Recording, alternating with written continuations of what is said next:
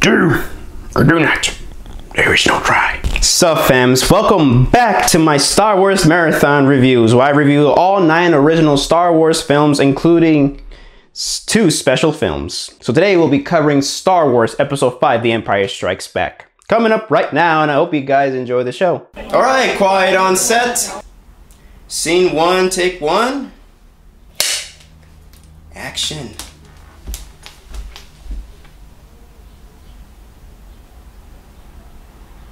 Star Wars Episode 5 The Empire Strikes Back was released in 1980. It is directed by George Lucas's film professor, Irvin Kershner. Stars once again Mark Hamill, Carrie Fisher, Harrison Ford, even Alec Guinness is in it, David Prowse slash James Earl Jones is Darth Vader. Well, James Earl Jones is the voice of Darth Vader. And for, for the first time, we finally get Frank Oz as the voice of Yoda. Hey guys, Javi here, and right now as I'm I'm right now editing this video, and I forgot to mention that for the first time we get introduced to Billy Dee Williams as the coolest guy in the galaxy, Lando Calrissian. Right, back to the review.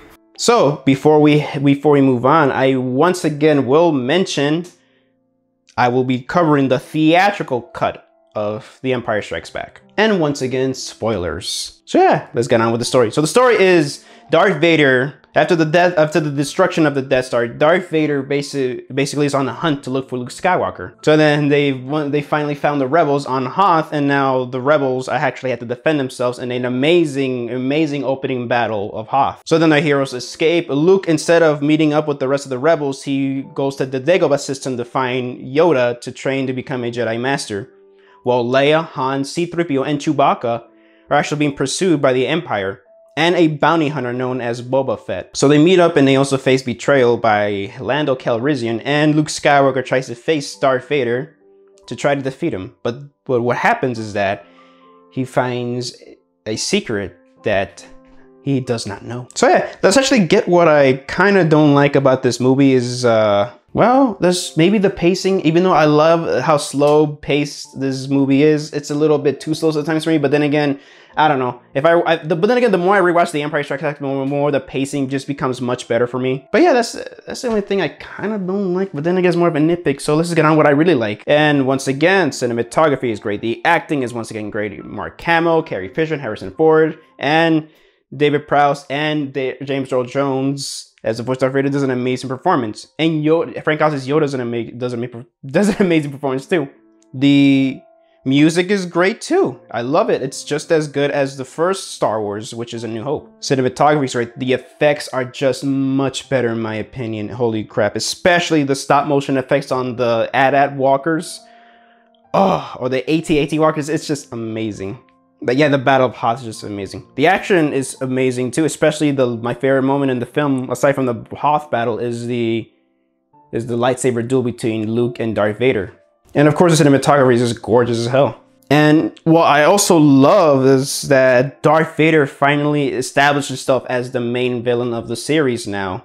Or something like that. Like he finally gets more, he finally is gets a much bigger role here. And man, it's just, every time Darth Vader's in it, he makes his presence known. It's just awesome. Like he just chokes his, his freaking employees or whatever his fellow friend, his fellow his fellow people, and just his, his fellow officers, and man, he just doesn't care.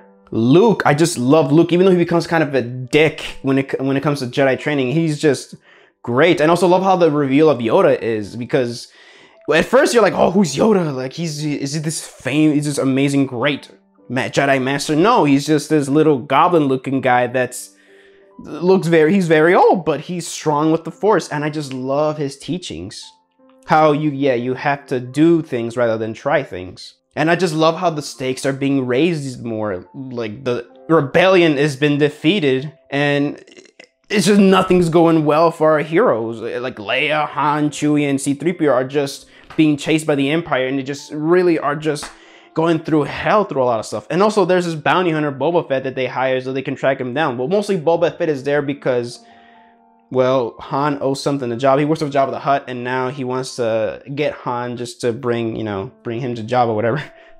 so he just wants the bounty. That's it. Oh yeah. Also, let me get onto a nitpick that I have.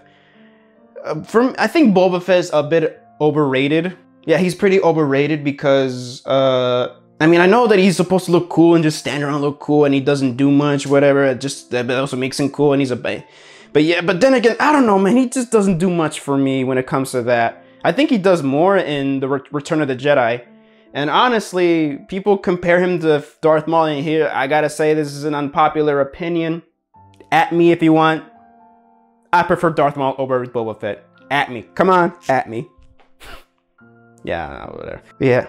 But I also, and the, my favorite, of course, my, the scene with uh, Luke battling Darth Vader. is just amazing. I just love how Darth Vader at first just fights Luke with just one lightsaber and just pushes him out. Well, Luke is using both hands and he just can't, he can't with him. And I just love how there's dialogue and there's stakes being raised as they're fighting. It's not just a huge choreographed battle like in the prequels. Well, I love the prequels, but still here it just feels like Luke's in danger. You really felt his danger, and especially how just Darth Vader was just like, let your hate, let your hatred destroy me. I'm like, oh, oh my goodness. He really wants Luke to be a, a Sith, a Sith Lord. But yeah, and also, man, Luke got his hand chopped off, but whew, man. And also, of course, the twist and the reveal that Darth Vader is Luke's father. I mean, Come on, one of the greatest twists in movie history of all time. And I also love how Irvin Kershner kind of sort of went against, sort of, he sort of went against George Lucas's vision, how you should do a bit safer here, but no, Irvin is like, no, I want to pay, portray this realistically. I want to portray the characters just right. I also want to, since I also want to make this movie just more appealing towards a older audience. That's what he did. It's like with the, there's a, there's a line where before Han gets frozen in carbonite, the original line when, after he kisses Leia, Leia, and then, and then Leia just says, I love you. Han's supposed to say, I love you too.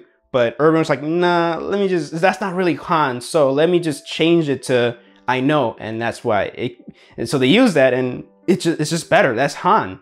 And George didn't like that, but whatever. Then again, George says that this is his least favorite Star Wars film, but whatever. So yeah, that's all I gotta say about the movie. It's it's again a lot of stuff has been raised. It's very ambitious too. It takes a lot of risks. It subverts your expectations, and the action is just all around better. The effects are better. The score is, in some ways, is better. It's just yeah, I can see why people think it's a better movie than A New Hope. But honestly, I prefer A New Hope a bit more than Empire Strikes Back. But that is not to say what's what I'm gonna say right now. If I were to give this movie a rating, I'll still give it a five out of five. It is a masterpiece. It is, and, it is one of the best movie sequels of all time. So yeah, that is my review for Star Wars Episode 5, The Empire Strikes Back. If you guys liked this video, make sure you guys leave a like, comment, and subscribe. Make sure you share it with your friends. And make sure you guys hit that bell for notifications. So this is Javi from Javi Productions signing off. And next time, we'll be finally covering a movie that I really loved, one of Star Wars Episode 6, Return of the Jedi. And hope you guys enjoy the show. And may the Force be with you, always.